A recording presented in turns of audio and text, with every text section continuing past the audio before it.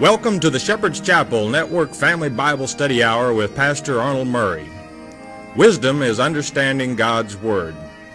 Pastor Murray's unique teaching approach brings God's Word alive with meaning as he takes you on a chapter by chapter, verse by verse study of God's letter to you, the Bible.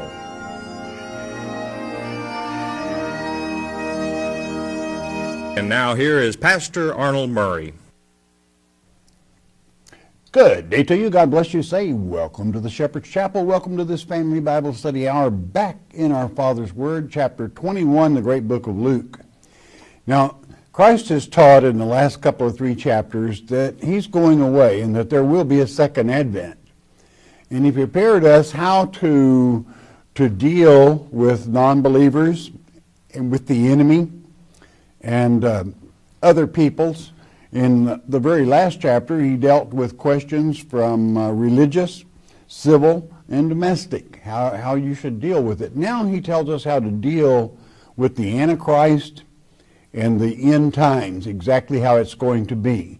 This is a beautiful thing that he gives us, whereby there is no unknown factors. And basically, when you know what's going down, you know how to prepare for it. That's what this 21st chapter is all about.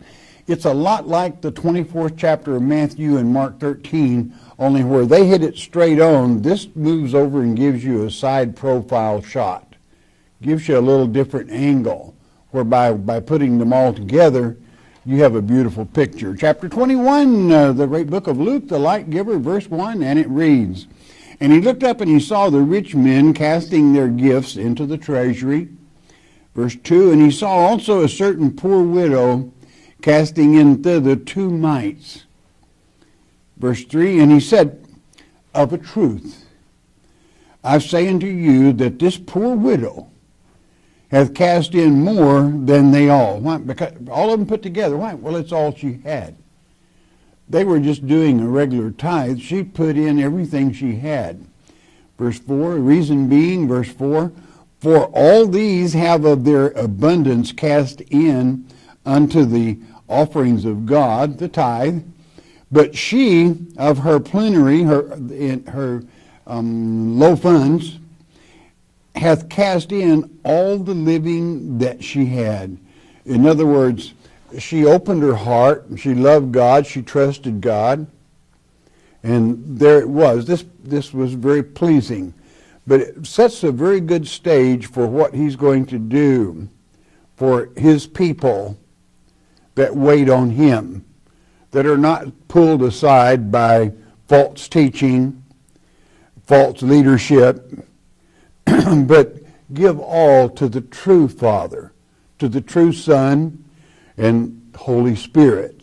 That is to say, those that cannot be deceived. Why? Because they understand our Father's Word.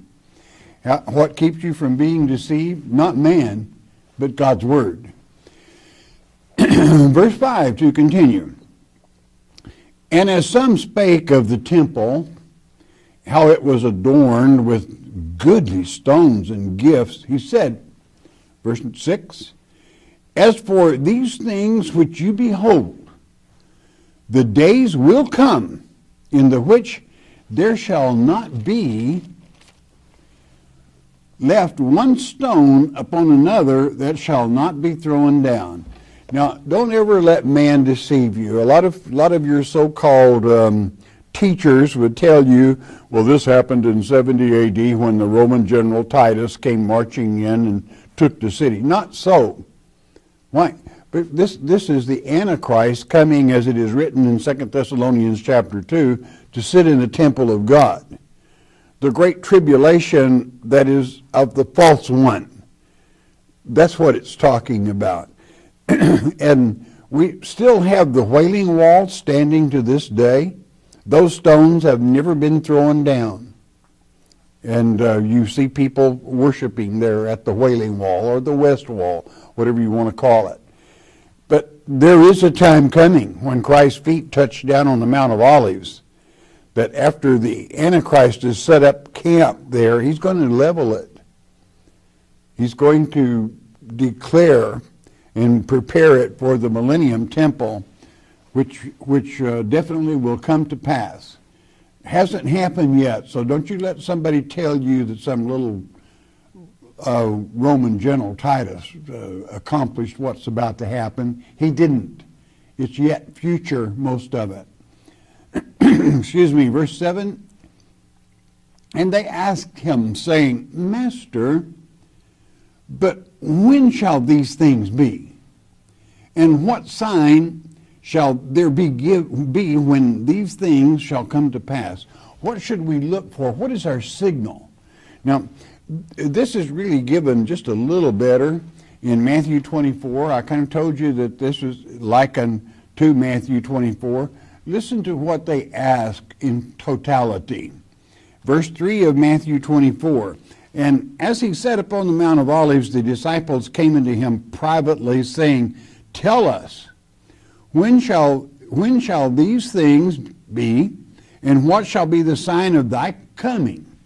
This means the second advent. And of the end of the world. That's the most asked question. When will the end of the world be? He's going to tell you. He's going to tell you the signs that will be present at that event.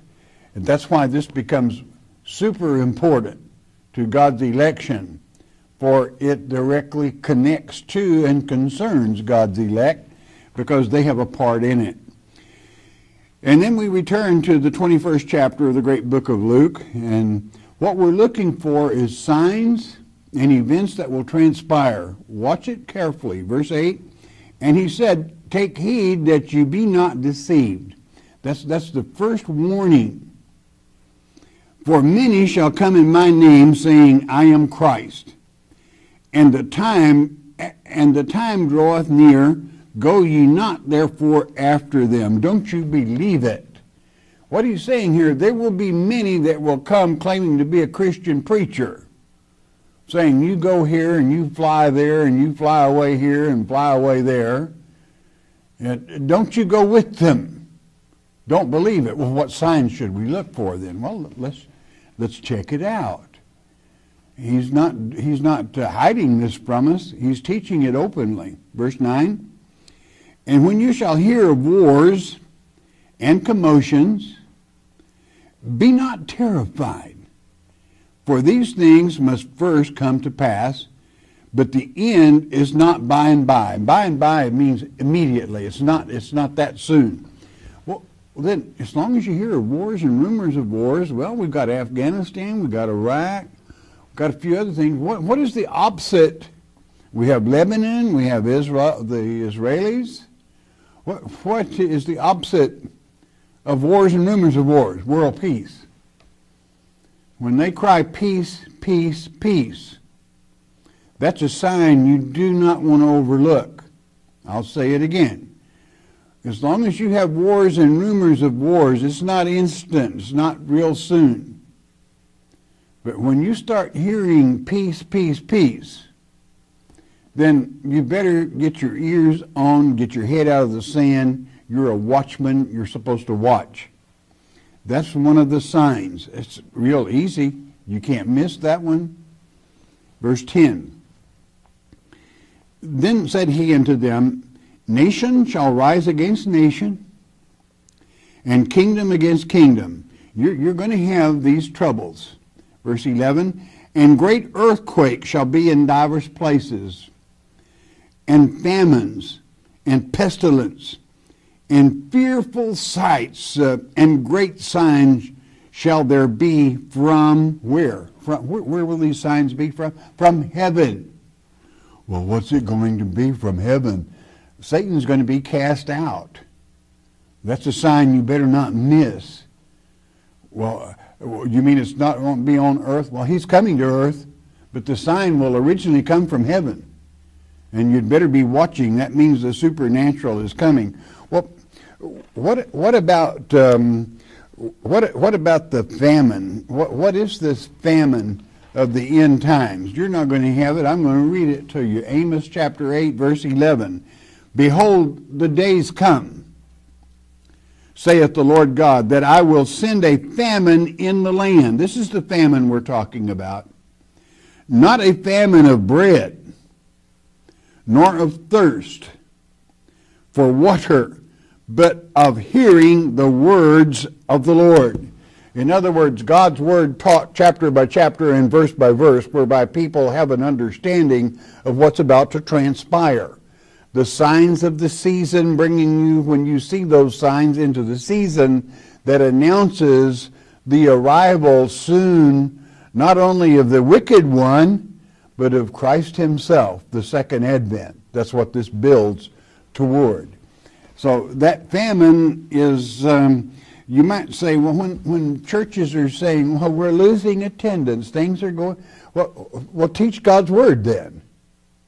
Let the words of God be taught chapter by chapter and verse by verse, whereby it is God's word that is taught, not some man's. And then your church will grow. You will have attendance that probably you can't even take care of. Those are the signs that you want to be aware of. Now, returning to the 21st chapter, let's go with the next verse, 12. But before all these, uh oh, this is what's going to be careful of. They shall lay their hands on you. I, I said you. And persecute you, delivering you up to the synagogues and unto prisons being brought before kings and rulers for my name's sake. And there, for what purpose was that? For Christ's name's sake.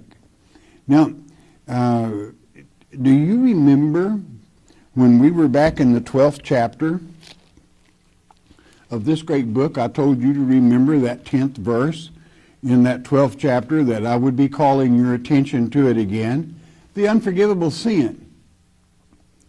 It's for God's elect when they're delivered up before the synagogue of Satan, the Antichrist, that the Holy Spirit would speak through you. And we read there in the 10th, the 12th chapter of the, this same book of Luke, and I told you to remember, to remember these verses, verse 9, and he that denieth me before men shall be denied before the angels of God, being the unpardonable sin. And whosoever, verse 10, shall speak a word against the Son of Man, it shall be forgiven him. That is, as Christ walking in the flesh on earth, that's forgivable. But unto him that blasphemeth against the Holy Spirit, it shall not be forgiven. Well, how does that come to pass?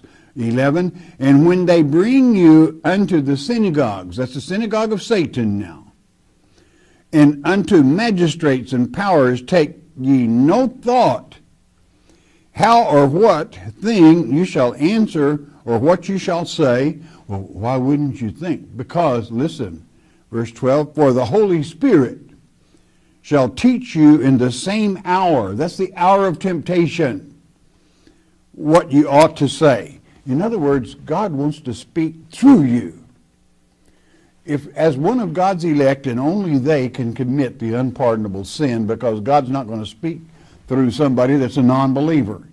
He speaks through those that do know, the under, that understands this word of God, the signs eh, that uh, are present and how they are to react. But that is the unpardonable sin, and it can only be committed after the false Christ appears on earth when one of God's elect refuses the Holy Spirit the opportunity to speak through them, it will not happen, I assure you. God's elect are ready for action. They are ready to perform in the service of the King.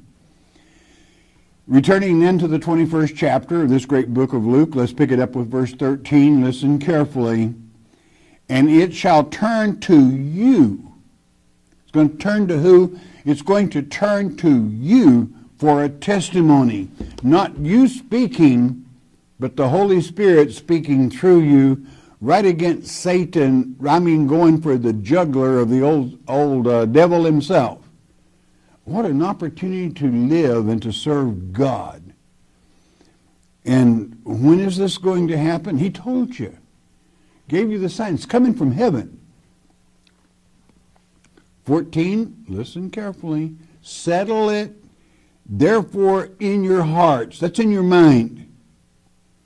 Not to meditate before what you shall answer. Don't you even think about it. You're not the one that's going to be the, doing the talking. how come? Verse 15. For I will give you a mouth and wisdom which all your adversaries shall not be able to gainsay nor resist. They can't, have, they can't gain one thing against what you say. Why? Well, it's not you speaking. It's the Holy Spirit. God's going to give you that wisdom. Do you know what this is? This is the Pentecostal tongue spoken on Pentecost Day when Christ resurrected 40 days and then 10 days later the Holy Spirit showed up. Acts chapter 2, verse 6 and 7, where they didn't speak in an unknown tongue. That's not the Pentecost tongue. The tongue on Pentecost was known, quite the opposite of unknown, but known by everyone.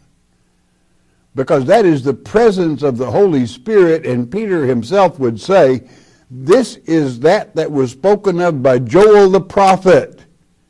So if you want to know what they were saying, all you got to do is go to chapter 2, the great book of Joel. And you find out that it is both the sons and the daughters of the Lord Jesus Christ, Almighty God, that is to say. As they are delivered up, uh, that the Holy Spirit speaks through them as a, for a testimony to the whole world about events that are transpiring and who this false one that they're delivered up before is. That is none other than Satan himself playing the role of Christ which means Antichrist. We have many movies and so forth put together showing the Antichrist as some vile, multi-headed, wicked, horned monster. Boy, is that going to deceive a lot of people. Because it is none other than Satan himself, and he's the most beautiful cherubim ever created. God himself stating it in Ezekiel 28 looking just like people think Christ looks like. And from his mouth comes the words that he is Christ. And all those that follow him will certainly wake up. I mean, good Christians that were not taught properly, worshiping Satan at the very last minute of this earth age before the millennium. And then to wake up and realize when the true Christ returns that they've been in bed with Satan himself. What a letdown. It's no wonder they pray for the mountains to fall on them. They're too ashamed to face the Lord Jesus Christ, who died for them and taught them, gave them the signs, told them exactly how it was going to go down, where they would not be deceived. And then they have them end up in bed with Satan. It's going to happen because people listen to malarkey rather than the Word of God. The famine in these end times is not for bread nor for water, but for hearing the words of God. It will get you in much trouble. So, um, this is what you want to settle in your mind. Well, I'm not a real great speaker. Well, you're not the one that's going to be doing the speaking. You got to get that through your mind. It is God Himself that uses your uh, very mouth to speak the words by the Holy Spirit that will convert many, many people. What a time to live, and you're living it. Verse 16 to continue in the great 21st chapter, and, and it reads, And you shall be betrayed both by parents and brethren and kinfolks and friends, and some of you shall they cause to be put to death. Now, now understand what put to death means. Let's translate it properly. Who is death? Well, let's document it. Let the Word of God document it for you so you're not deceived. Hebrews chapter 2, verse 14. Christ came to this earth in the flesh to be crucified, whereby he could destroy death, which is to say, the devil. That Satan's name is death. He's a dead man walking. Therefore, how precious it is that um, you are delivered up before Him, whereby God can speak through you to let the world know who He truly is and what a fake He is. Uh, you're not to premeditate what you'll speak, and I'm certainly not putting words in your mouth, but God intends to. and he will put words in your mouth. Well, why, why would a parent betray a child to, up to, before the devil? Because they think he's Christ. I mean, they're good Christian people, they think. They probably go to church all the time, but they're never taught there. Maybe they got one verse, Charlie, that gives one verse and then goes on with his own thoughts for an hour. And but we never taught this Luke 21 or Matthew 24 or Mark 13 or many other passages from God's Word whereby they would know the truth, whereby they could stand. So therefore, they believe he is Christ and they love you, so they're going to go right to the devil and say, thinking he is Christ, my daughter is a beautiful child. She really, she thinks she's serving you. But indeed, she thinks you are the false Christ. And you know what he will say? Well, bring her on in and let's convert her. You see, that's what Satan will be running, playing Jesus. And he will be running the greatest church there and, and greatest revival there has ever been known to man on this earth. Not wars by guns or anything of that nature or witchcraft, but by religion. Only it's false religion. It is Satan himself claiming to be Christ. And, and naturally, a, a, a relative who thinks he is Christ thinks they're doing you a favor when they deliver you up to him, begging for mercy from him for your soul when God already has your soul protected. That's why parents will betray and kinfolks, others, for religious reasons you don't have to go very far to know and see the real truth in that matter of what kinfolks will do in the name of religion. Verse 17 to continue. And you shall be hated of all men for my name's sake. Why will you be hated? Let it be for only one reason, beloved. His name's sake. You stay with him. You stay true to him. It does not matter if the, if the whole world hates you and God loves you, you're in good shape because you and He make a majority. Verse 18 But there shall not be an hair of your head perish. How much faith do you have? It said, that verse said, not one hair on your head shall perish. As it is written concerning Satan's trip to this earth in Revelation chapter 9, verse 4, God telling him, Don't you dare touch one of mine that have the seal of God in their forehead, meaning the truth of God's word in their mind, where it has settled there. You can't touch them, you can't tempt them. Well, we're too smart for him. We know who he is. We've got his MO. We have his number. And so it is. God protects the elect.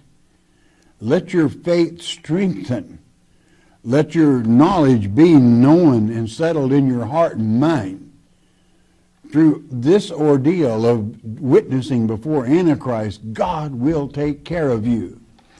Even the adversaries will be convinced by what you say. Think about it. What a time to live. What a precious moment that will be. Verse 19. in your presence, I'm sorry, in your patience possess ye your souls. That's it. Well, what is patience? You wait. You wait for the true Christ. Don't you fall off and be deceived by the fake. If they tell you he's over here or he's over there, don't you believe it. As long as you're in a flesh body, the seventh trump hasn't sounded, and the true Christ has not returned to this earth. your soul being patient brings you to that moment whereby you have that victory and God uses you. It turns to you and you don't want to let him down. Think about it. Let your faith be strong. Not one hair can be touched on your head. Uh, verse 20 to continue. And when you shall see Jerusalem compassed with armies, here's another sign then know that the desolation thereof is nigh. This is the desolation of abomination spoken of by Daniel the prophet. as it would be written in the 24th chapter of Matthew and 13th chapter of Mark.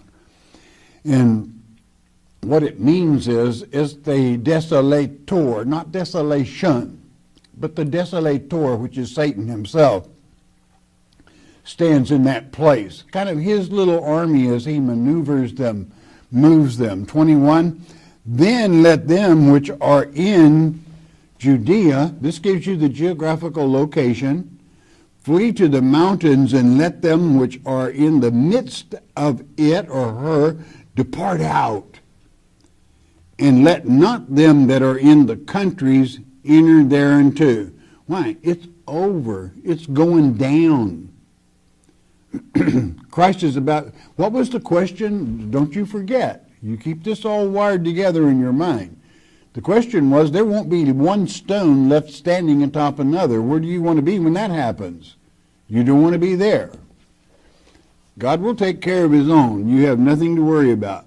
Verse 22. For these must for these be the days of vengeance that all things which are written may be fulfilled. You got that? Every last thing for, fulfilled in the generation of the fig tree. Now we were we were back in the uh, when, when we were teaching in the fourth chapter, I told you to remember something. When Christ went into the temple and he picked up the scroll of Isaiah in chapter 4, verse 18, I, I asked you to remember that. I said, I'm going to call it to your attention again. This is where I'm going to do it in relationship to the day of vengeance, okay? Christ walked into the temple he picked up the book of Isaiah, chapter 4, verse 18 of this same book, the book of Luke. The Spirit, this is what he read to the congregation. The Spirit of the Lord is upon me, because he hath anointed me to preach the gospel to the poor. He hath, he hath sent me to heal the brokenhearted, to um, preach deliverance to the captives and recovering of sight to the blind, to set at liberty them that are bruised. Verse 19, listen carefully, to preach the acceptable year of the Lord, period. He closed it. That's not the end of the sentence. There's, a, there's another part to that sentence. Well, why couldn't he read it then? Because it wasn't time. Listen, he closed the book and he gave it again to the minister, sat down, and the eyes of all looked at him. And then he would say, This day is this scripture fulfilled in your ears. What? The first part. Well, what, what is the. Um, what was the second part of that uh, very verse? It was 16 of Isaiah. That's what he was reading. And that's why it's important. You need to know it because all things are going to be fulfilled within that. And here we go, verse 2 of chapter 61, the great book of Isaiah, and it reads, To proclaim the acceptable year of the Lord, the day of vengeance of our God, to comfort all that mourn. That's what he did not finish. I'll read the first part again, verse 1. The Spirit of the Lord God is upon me, because the Lord hath anointed me to preach good tidings unto the meek. He has sent me to bind up the brokenhearted to proclaim liberty to the captives and to the opening of the prison to them that are bound. And here it comes to proclaim the acceptable year of the Lord. Instead of period, is comma. Finish the sentence. And the day of vengeance of our God to comfort all that mourn. And rejoice, O Zion. So you see, the day of vengeance is coming, but it would, there's a gap there. It would not happen until the second advent, and that's why he could not say, This day has this prophecy come to pass, because the day of vengeance hadn't. It has not yet come to pass. But I you can rest assured it shall come to pass. And don't let any of these clues of the signs of the nearing of our Heavenly Father escape you. For all that is written may be fulfilled when these things are seen. Returning to Luke 21, verse 23, it reads, But woe unto them that are with child, and to them that give suck in those days, for there shall be great distress in the land and wrath upon this people, the ones that are deceived. Now, there is no sin in a mother carrying a child in her womb. That's a blessing. So, what's he talking about? Well, how long has Christ been away? Well, over 2,000 years. And he, what does he expect to find when he returns? A virgin bride. Now, if he returns back and you have been spiritually, not physically, but spiritually impregnated by the teachings of the false Christ, and have been impregnated by him and are even nursing along, giving suck, nursing along his work, helping Satan. Can you imagine that? A Christian actually impregnated spiritually and helping Satan's work. What kind of light does that leave them in in God's eyes? He's jealous. And, and the reason he uses this analogy is if you were gone for several years and you came back and your mate was uh, uh, the father or mother of a, a suckling babe, how would you feel about it? He says, That's the way I feel. I'm jealous. I don't want you messing with Satan. I want you to wait for me. You want to take, you want to be a virgin in that um, wedding, you better listen up because he's making it very clear what he expects. Again, I want to double emphasize it's a blessing for a mother to carry a child in her womb. This is speaking of a spiritual impregnation by the false one. Verse 24 And they shall fall by the edge of the sword and shall be led away captive into all nations, and Jerusalem shall be trodden down of the Gentiles until the time of the Gentiles be fulfilled and so it will be. I do not have to tell you who controls the dome of the rock and how that that prophecy continues on and will until this day, until that second advent, it shall come to pass. You're living in a perilous time. Many of these things are formulating right now before our very eyes. And Many would say, well, men have taught the end of the world since the beginning of time. Well, the thing, the clue that God's word states sets the end generation is Israel beginning, becoming a nation again. That happened in 1948. Many of us witnessed it. So there's no, no excuse for not being able to understand the simplicity in which Almighty God brings us the events of the end times, whereby a watchman has the knowledge to know what he's watching for or she's watching for, whereby they are not deceived by Satan or man, because both will deceive you if they have the opportunity. How do you stop the deception? It was the first warning. See that man does not deceive you. How do I prevent that? Stick to God's Word, His Word only, as it is taught chapter by chapter and verse by verse. All right, bless your heart. You listen a moment, won't you please?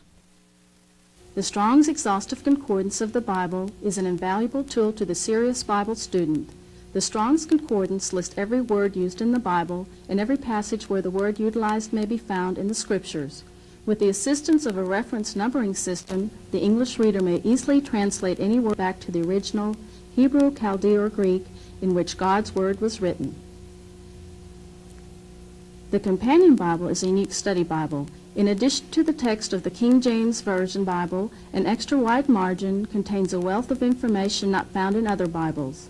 A system of structures or outlines employed by the Companion Bible will allow the readers to rightly divide the Bible. The use of these structures help the reader follow the subject matter, and therefore they are critical to an understanding of God's Word.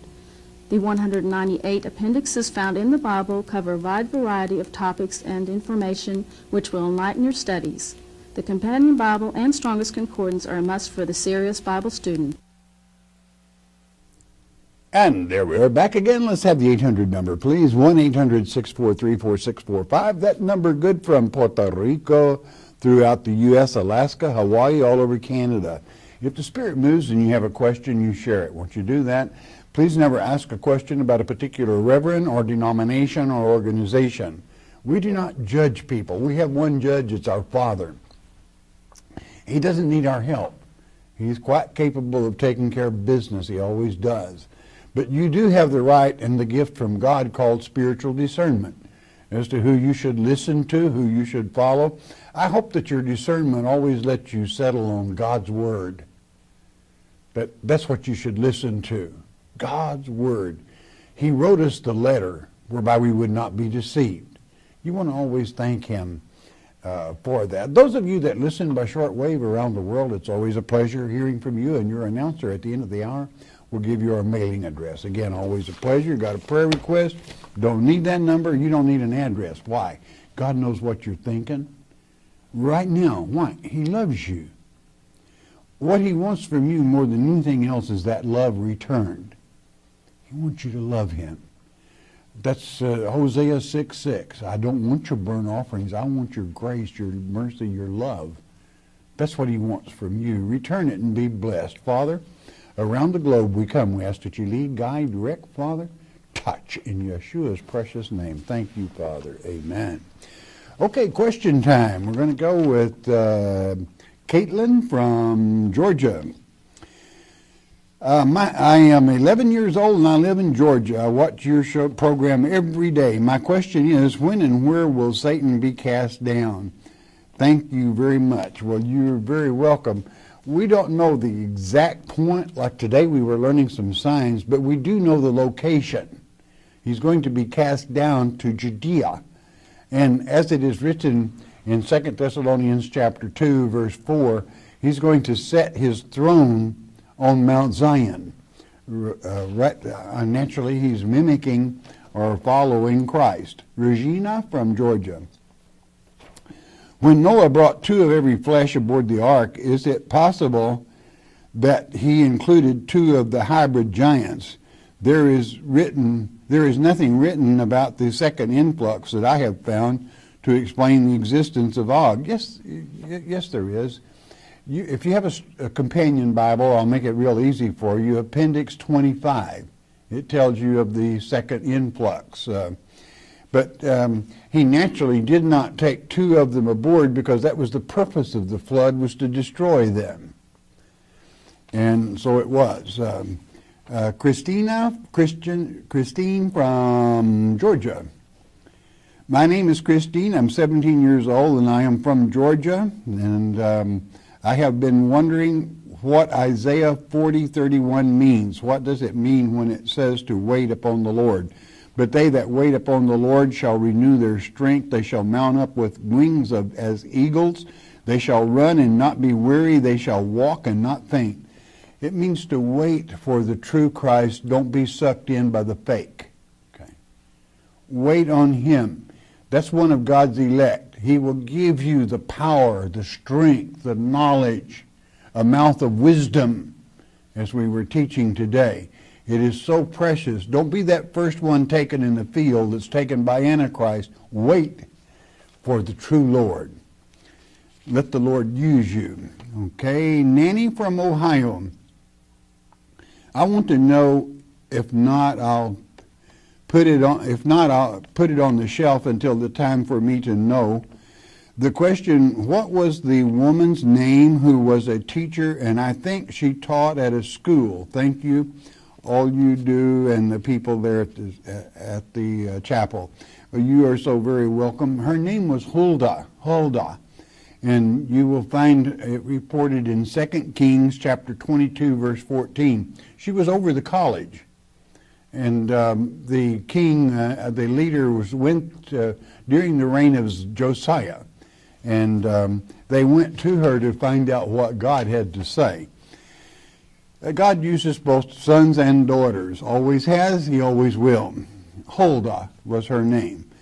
Um, Anwan, Anwan from Mississippi. What did Satan, why did Satan tempt Christ in the wilderness? Did he not know Jesus was the, uh, God in the flesh? He, he thinks he's better even than God. And many people might say, well, I cannot understand why he thinks he's better, because the whole world follows him. I mean, there, most, the majority of the world does everything but worship him. I mean, they follow him. They follow the prince of darkness and the things that he puts upon this world and become a part of it. He's got the whole world, except for God's election, basically eating out of his hand. And he feels he's doing pretty good. When Jesus spoke to his disciples, he used parables. Why did he not want everyone to understand his message? Well, basically, he usually explained the parables if the disciples didn't understand it. It was the non-believers he, that he did not want to understand it. Why? It was not meant for them to at that time. Why? They weren't ready. um, you have to take into consideration the miracles and everything that he was performing, and many people were worshiping him not because of the miracle that he was the Son of God, but because he could create a fish sandwich. You don't want to convert somebody that would just think he was the creator of a fish sandwich. They're not ready. Got it? Okay, Pastor Murray, this was Gene from Illinois. I enjoy so much watching your. Thank you. My question is Did the serpent in the Garden of Eden talk like a human, or, or are we supposed to imagine this? Thank you. No, no, no. You need to, you need to check it out in the Word of God.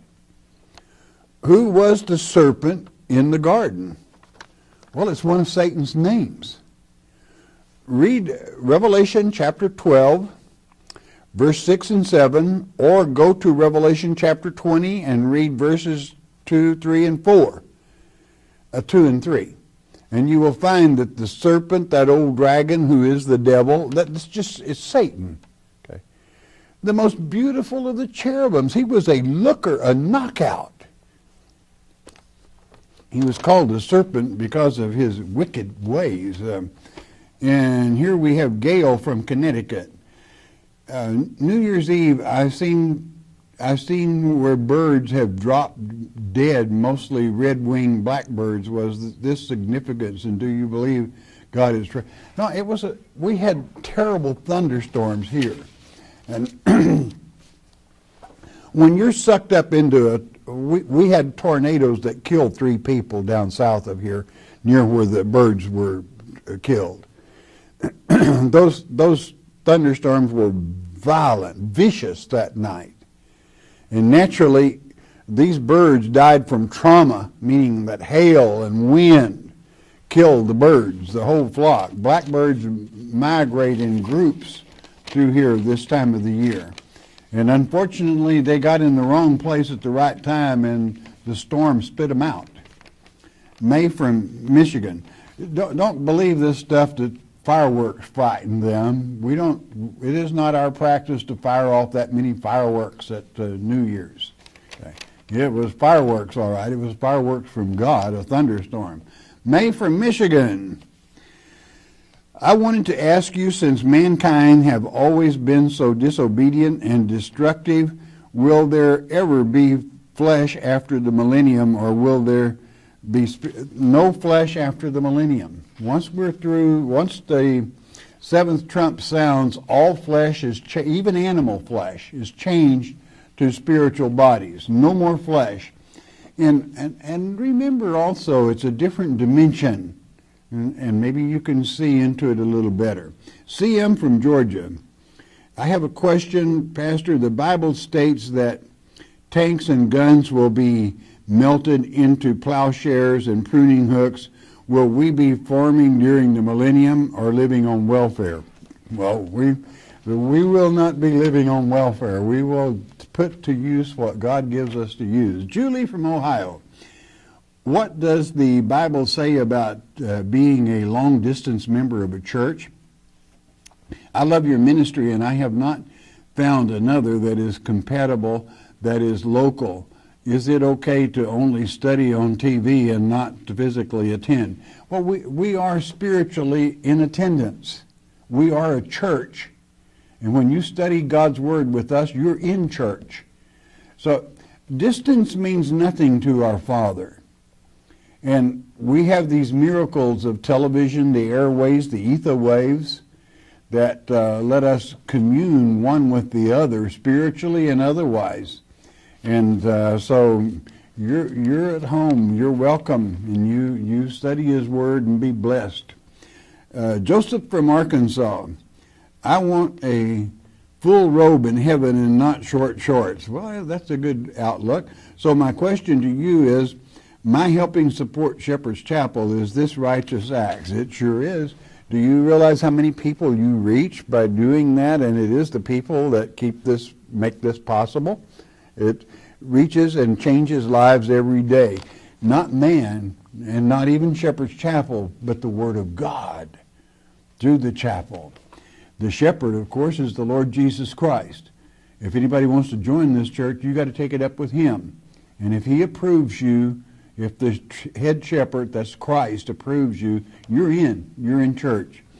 Uh, okay, question.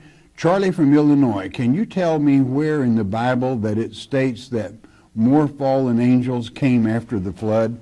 Well, it was that was Og, but uh, go take your companion Bible and go to Appendix 25, and it tells you all about the Nephilim. That's the fallen ones. That's the Hebrew word meaning the fallen angels, and and the giants, the Geber, that would come, and it will you'll learn probably more than you ever wanted to know about them there. Dan from North Carolina. If we are separated by the gulf in paradise, haven't we been judged to a degree at that point? Oh, no, not judged, but determined from the book of life. I mean, your name is written there, and what you have done determines not by judgment, but by your own actions, which side of the gulf you go on. Um, I'll say that again. When they open the book, when you get there, and we're by your name, if it says you're a fantastic person right over here. If it says there, you didn't give a hoot for nothing, you're going over there. Okay? It's what's written in your book, and only you decide that. Okay? And it's not, not time for God's judgment. Uh, you, we, uh, I think most people will be glad that God does not judge them at that time, but waits until the great white throne ju- judgment because they've got the whole millennium to get their act together, maybe. Judy from Texas, please answer this. I have wanted to serve God all of my life, but I was very abused by those who were supposed to be my family, and I do not believe they were good souls, but very dark ones. Um, you know, uh, you um, don't don't always blame your shortcomings on others. You're a bigger person than that. You're a daughter of the living God. Even if you were abused, you stand up and you let God know He can use you. That um, He'll take care of those that abused you. You don't have to worry about it. And and um, do what is right, and you will uh, be serving God then. But you can't serve God and blame all your shortcomings on other people. That will not fly with our Father. Got to fess up and do what's right, cut your own own wake, and you'll be just fine. Bill from Canada. What will our spiritual body be like? Will we be transparent and will we eat and sleep or what what will we be doing? Well, we're, we're going to be happy for one thing because you're away from a flesh body that's painful and and um, and ages and gets ill. That in itself, but it's in a different dimension. It is not transparent. It's very visible. Even someone in the transition of dying can see into that dimension. It is not transparent, and um, um, and it is it's what we all work forward to. We can trust God for that. And it is not the corruption that we have in flesh world with Satan being the prince of darkness and having free run where he is when people allow it, Christians allow it. But a safe place God takes care of his own. Pat from California, you have said that you cannot have salvation in the flesh. Please explain. Whoa, whoa, whoa. You're leaving most of the teaching off. I said, if you premeditate murder and you lie in wait just because you're a wicked rascal with no reason whatsoever, no jealousy, no reason, just to kill and take a life, then you cannot have salvation in the flesh. It's quoted in the first epistle of John, chapter 3, verse 15. Uh, but that's only for a murderer. Anyone else can have salvation in the flesh. And I'm not saying that God will not let them have salvation in the spiritual body if things, if God so chooses. That's his business. Pat, but he said, send them up to me. I'll take care of them. That's where their real trial takes place. Uh, Pat from California.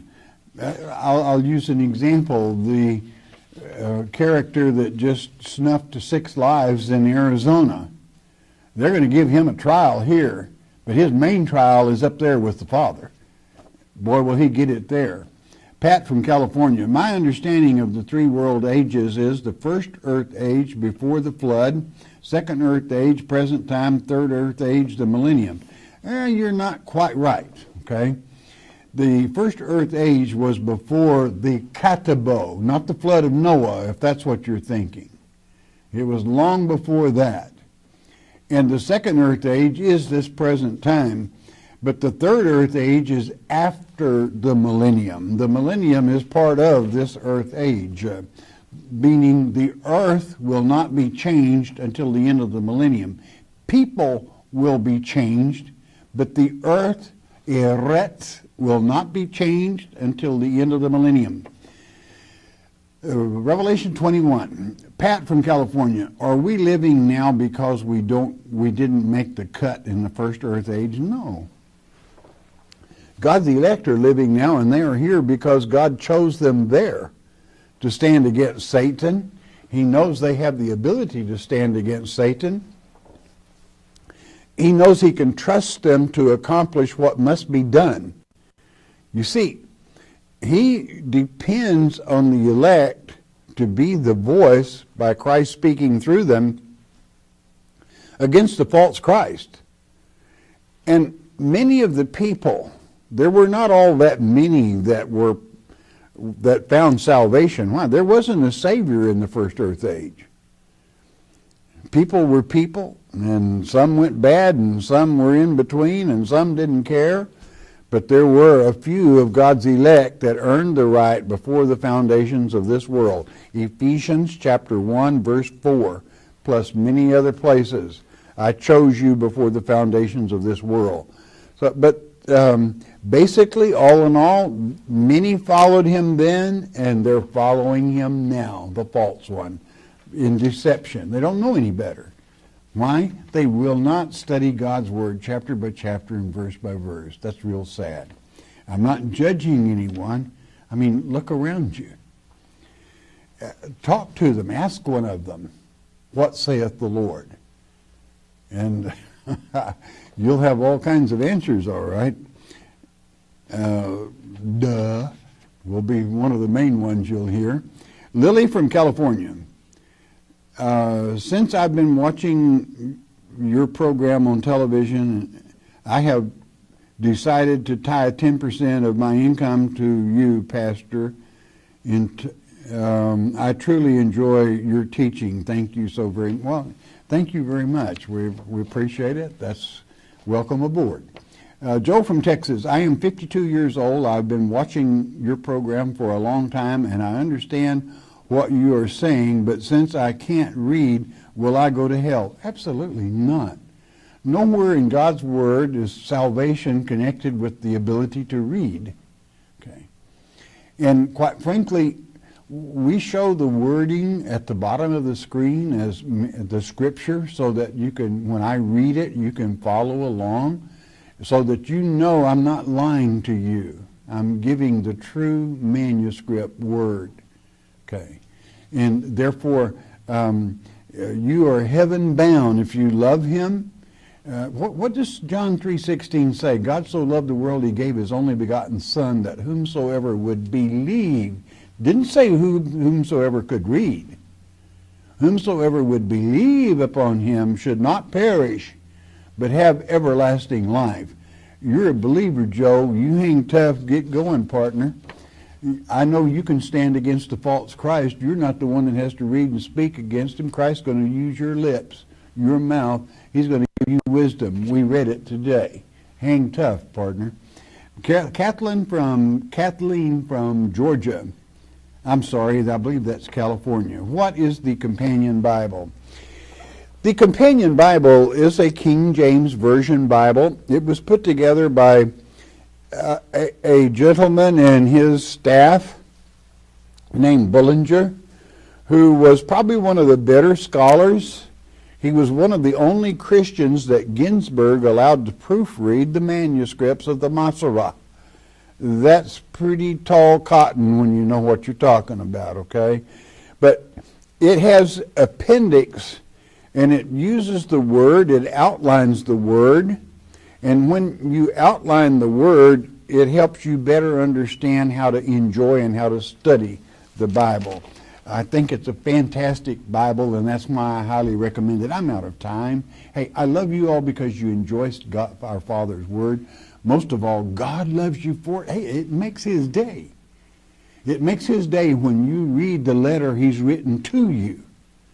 Because as God's elect, He uses you. You. That's what I said. And uh, make his day, boy, is he going to make yours. We're brought to you by your tithes and offerings. If we've helped you, you help us keep coming to you. Once you do that, bless him. He will always, I do mean always, bless you. Most important, though, you listen to me. You listen good. You stay in his word every day. In his word is a good day, even with trouble. You know why? Because Jesus, Yeshua, is the living word. Hearing God's Word with understanding will change your life. We hope you have enjoyed studying God's Word here on the Shepherd's Chapel Family Bible Study Hour with Pastor Arnold Murray. If you would like to receive more information concerning Shepherd's Chapel, you may request our free introductory offer. Our introductory offer contains the Mark of the Beast audio tape, our monthly newsletter with a written Bible study, a tape catalog, and a list of written reference works available through Shepherd's Chapel. To request our free introductory offer by telephone, call 800 643 4645 24 hours a day. You may also request our introductory offer by writing to Shepherd's Chapel, Post Office Box 416, Gravette, Arkansas 72736.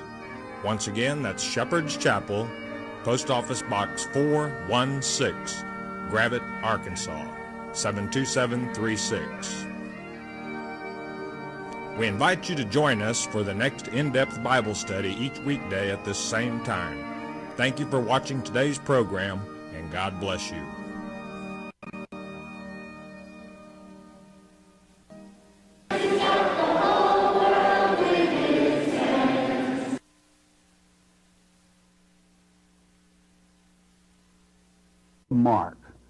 Mark, one of the apostles, Mark having been a very young lad at the time Christ walked this earth, was always in the shadows, observing and listening with the intensity that young ears can, picking up every word.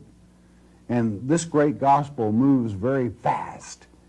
But what a, what a interesting and certainly impressive gospel it is for Mark from those that young mind reiterates to you in chapter 13 how some are going to be delivered up, exactly what they are supposed to do, and even in that 13th chapter giving you the seven events that fulfill this or make up the seven seals and the seven trumpets, and telling you how you are to react to them.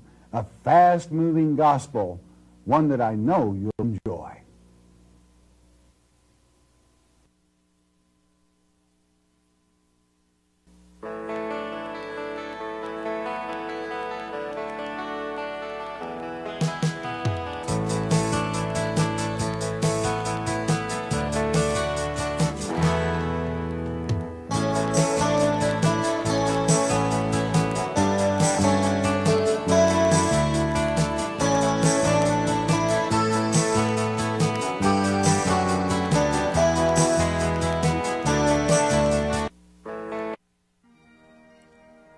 Welcome to the Shepherd's Chapel Network Family Bible Study Hour with Pastor Arnold Murray.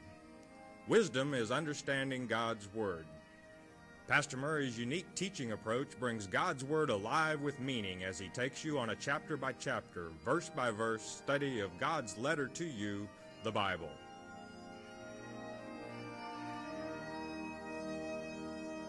And now here is Pastor Arnold Murray.